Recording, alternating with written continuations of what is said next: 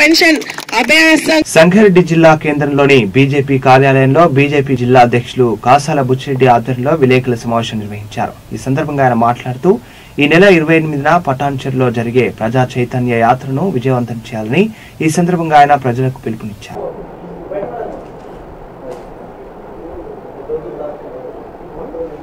తెలంగాణ వ్యాప్తంగా మొదటి విడతగా ఒక ఇరవై ఎనిమిది అసెంబ్లీ కేంద్రాల్లో భారీ బహిరంగ బహిరంగ సభలు పెడతా ఉన్నాం. మార్పు కోసం బీజేపీ తెలంగాణ జన చైతన్య యాత్ర పేరు మీద ఈ యాత్ర ప్రారంభం చేశాం. దాంట్లో భాగంగా ఇరవై ఎనిమిదవ తేదీ బేస్తారం నాడు సాయంత్రం నాలుగు గంటలకు సంగారెడ్డి జిల్లాలో మొదటి విడతగా నిర్వహిస్తున్నటువంటి బహిరంగ సభ పటాన్చేరు అసెంబ్లీ కేంద్రంగా నిర్వహిస్తూ ఉన్నాం.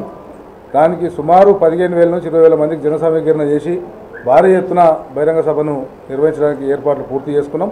మరి కాంగ్రెస్ పార్టీ దేశంలో మొత్తం క్షీణించిపోయినా మరి తెలంగాణలో మేమే ప్రత్యామ్నాయం చెప్పి అబద్ధాలు ప్రచారం చేస్తూ గత తప్పులన్నీ కూడా మర్చిపోయే విధంగా వాళ్ళైతే తప్పుడు ప్రచారం చేస్తూ ఉన్నారో మరి ఇటు కాంగ్రెస్ పార్టీ కానీ అక్కడ టీఆర్ఎస్ పార్టీ కానీ రెండు రెండే రెండు ఒక చెట్టు కొమ్మలే అనే ఉద్దేశంతో ప్రజలను జాగృతం చేసి ప్రత్యామ్నాయ పార్టీ భారతీయ జనతా పార్టీ మాత్రమే ఈ డెబ్బై సంవత్సరాల చరిత్రలో ఈ తెలంగాణ ఉమ్మడి ఆంధ్రప్రదేశ్లో బీజేపీ అధికారంలో రాలేదు. మార్పు కోసం ఒకసారి మార్పు చేసి మరి కాంగ్రెస్కి అవకాశం ఇచ్చారు టీడీపీకి ఇచ్చారు టీఆర్ఎస్కి ఇచ్చారు ఒక్కసారి బీజేపీకి ఇవ్వండి అనే నినాదంతో ప్రజలకు మేము వెళ్తా ఉన్నాం. తప్పకుండా ప్రజలలో బాగా స్పందన వస్తూ ఉన్నది. మరి మొన్న ఇరవై మూడవ తేదీ నాడు లక్ష్మీ ఆలయం యాయరూట్లో స్టార్ట్ అయినటువంటి యాత్ర.